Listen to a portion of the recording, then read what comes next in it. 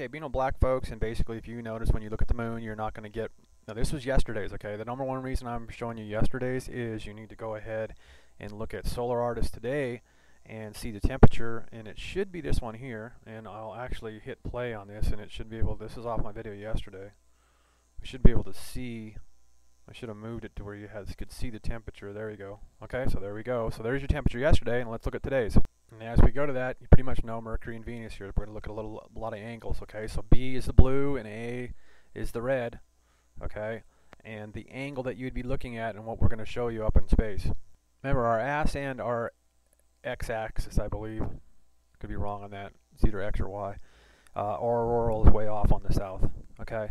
So then we go up and we're going to see the freshest pictures, and as you see, they're blocking that out. And we still have our and what we were looking for is to get you the temperature and see how much the temperature has dropped. So just back up the video, and I don't have much running, so the idea back up the video. Temperature, temperature of the sun dramatically dropped, and yes, all that's going on. Okay, and then we can go back down through here. I'll give the data real fast not feeding right now. Probably hysteria about these CMEs. People are wondering, is this what's knocking my electrical down? Uh, there's a prick on the internet that says that it does do that, and yes, it's factual. Any scientifical would tell you that. Okay, that's our auroral. Is us, we're spinning through space at more than 66,000 miles an hour. We usually average 60,000 miles an hour, so we've decided to uh, put in the ethanol. So anyway, uh, that's a little joke. So there's more, and basically I haven't even looked at earthquakes yet today. Not really worried about that. Basically, I'm just going to go show you some stuff out in space. Well, there you go. There's your earthquake map. Okay. And there's our, on the 23rd, like I say, we're going to be interested to see that activity on the 23rd as we have a triangulation here of coronal mass and basically factual. We'll go to the right a little bit, and there you go, your marble marks. Okay, rubbing and your data will also show you that there's got to be stuff going on. And that heat temperature change too, that means there's more than one sun out there. And when, when they're moving, we're going to get a warm day and then a cooler day, a warm day and a cooler day. And if you safely look at the sun with a welding goggle, you will see what I'm talking about. And if you watch the sun when it goes down, you will see what I'm talking about. The alignment of the suns, ladies and gentlemen. Okay. So, and we are coming across here, and we get to the uh, electrons, you're going to see that basically we're going to have potential cross-phasing again here pretty damn quickly, probably doing it right now. Uh, there's your last graph. I don't waste time, basically just show the data because just about anybody that usually looks at my videos is already knows ahead of time and always wants to contradict and everything like that. Now we're going to be built, we are building back up on getting close to a higher C again. Okay, we calmed down for a little bit and now we're headed back into mid-level high C's and we'll probably see some M's again pretty soon. Uh, that's and then let's look at how we are a month ahead. Or actually a month behind excuse me on our ass position on the quadrants on the pole coordinates. And everything's going towards Greenwich okay? That's our x and our y factor yes folks no more than just rotating earth rotates to the east and it's all so our axis is moved to the east on our magnetical. We'll look at the jet streams here real quick that are, yeah, pretty much they're quacky. They are nothing to the norm, and weather modification does exist, and thank God it does. So, thank God, thank gosh, thank anything you want to flip and call it. Jesus, H. Okay, now, so, and I'm religious, you know, get real. Everybody on the face of the earth has said the F word. See, anyway, you know, even if you're really religious, remember when you got in trouble for saying the F word? You figured it out, didn't you? Okay. So here we go. Wild jet stream action. Okay, let's go off into space and take a look at what's really going on out there that creates weather down here on Earth, and then watch your weather patterns. Your heat, like I said, is very strange. And as you see, 70s and 80s, there's the most realistic that you can get. Screw around with looking at certain webcasts and stuff like that. Check that out. Okay. Uh, and it'll probably be warmer because this will expand during the day. And there you go. There's your surface heat for today, and it's going to be a hell of a lot warmer, I would think. Maybe it is a little bit of a cool down today. But anyway, that's the latest. Now what I can do here is we're going to go ahead and pop real fast. We have Venus, we got Mars, we got Saturn, okay? And if you don't believe me here, we'll plop this to, there you go, you should be able to read it now, okay? Now what I'll be able to do here is freeze this object here, which we know is there, and basically the Vatican paid a lot of money to put a, uh, and I'm going to freeze it. You can see the time, the day running, and basically I'll freeze it, and we will take a look at what we know, and you can see the movement of it. And basically, I think I can go ahead and I'll hit reverse, and we'll back it up, and we will catch that huge anomaly out there. Okay, and let's see if it. Look, you can see it right there. Let's see if it moves forward and back because that's what we're looking for, and it pretty much does look like it moves forward and back. So it's another part, basically, of the supergiants. It's a mass out there. As you've seen it just move, okay? And then you can go ahead and take snapshots of that and freeze it. And that's what they block out and don't want you to see a lot of up there to the right. And that's why the Vatican and a lot of money a long time ago wanted to see what the heck that was. And you can barely see it a little bit there. So I'm going to hit reverse and we'll pop back. I think I'm reverse. I'm not really worried about it. Just playing through the film. We'll see the best we can see of it in there. We've seen it a lot of time before on the Reds, and they block it out of the Reds anymore. And I'll you'll show you evidence of that in a second. And everybody knows, and everybody's been saying it's oh, always a scratch on the lens and everything like that. Okay, well it's there. Okay, and it moves around. It moves front and back. Okay, so it, it makes some interesting moves. Okay, this is off the movie and same shot a thousand percent. And there you go. There is our, and it does some good movement during the day. And you can sit there and go to the players and play with it and you will see what I'm talking about okay? So that does exist right there. A massive size. It's not an anomaly. It's an object in space ladies and gentlemen. Now I'm going to go ahead and go to this is the freshest from being and you have to realize that possibly this might be Earth here or anything around here could be Earth because let me show you here's the meatball in Venus Got to show you the meatball because everybody loves the meatball. Everybody's fallen in love with the hugest thing that you're ever going to flip and see in your life, ladies and gentlemen. There's Venus and the meatball to the right. If you can't see the meatball to the right, you're flipping blind. And if you're going to sit there and say it's a gas bubble or a crystal, you need to get on crystal meth. Because you have functionability problems. And you don't need a doctor.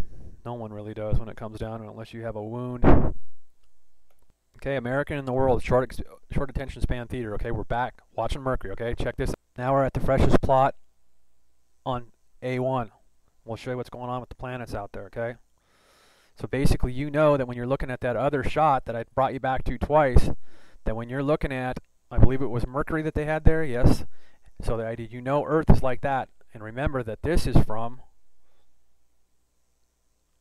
ahead. Okay.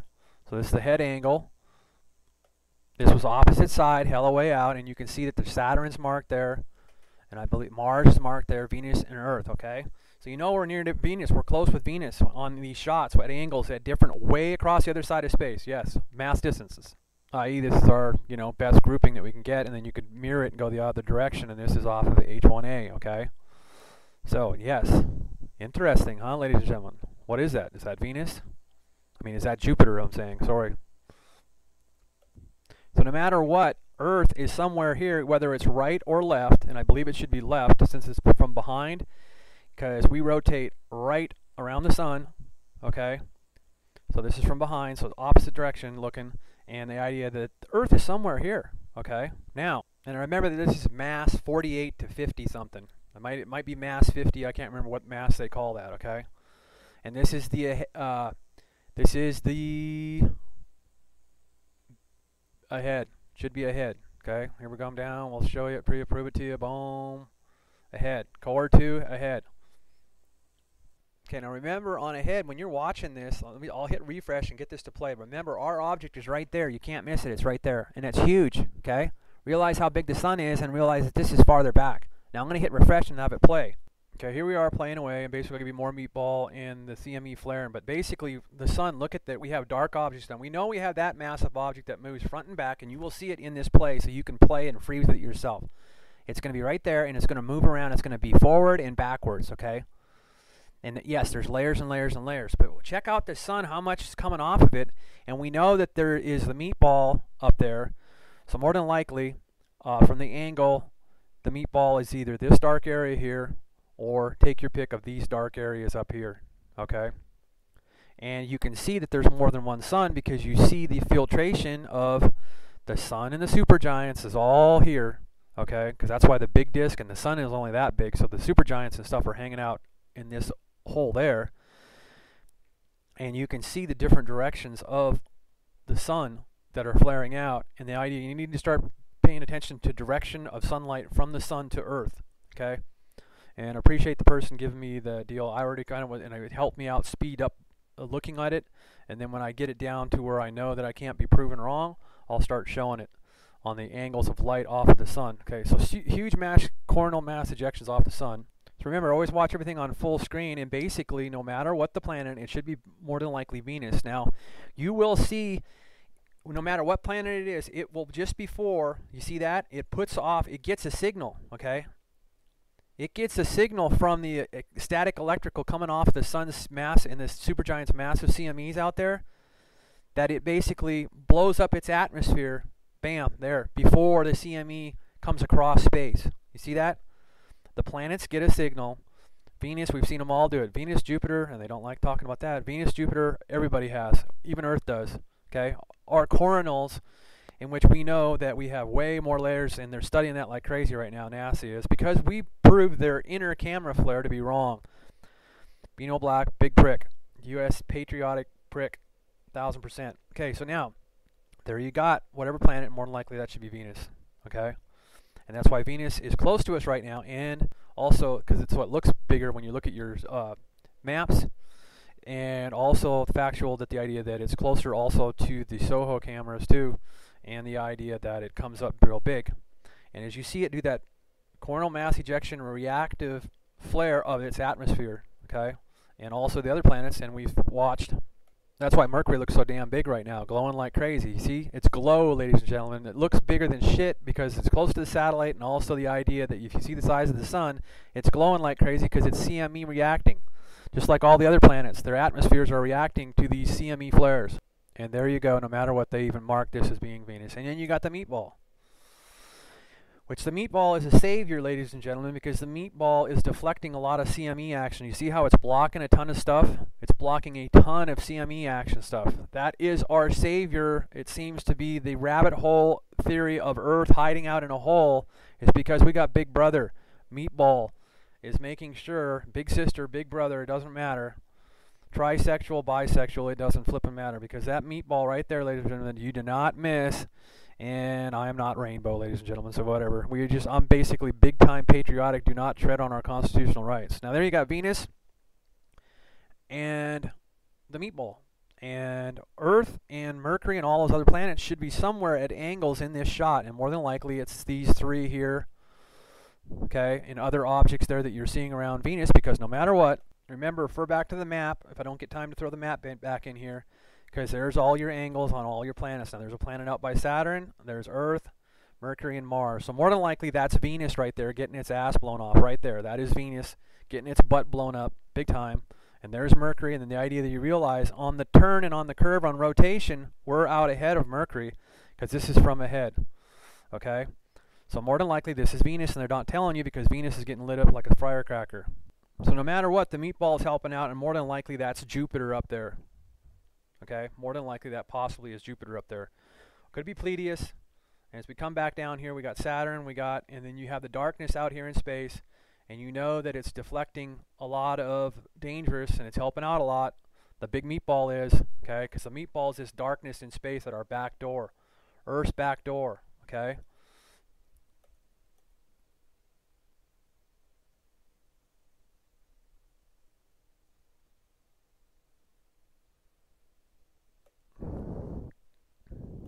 Because no matter what these huge CMEs are going on, and whether that's just Jupiter, I mean, whether that's just Venus, whether that's just Venus reacting or Jupiter and Mars and Mercury and everything all at the same time, it doesn't really matter.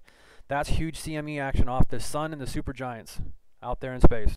And you can see the CME lighting up our magneticism right here on this footage here too. See your Earth blinking like a star, and we're just a planet. More than likely blocking out what Mercury maybe.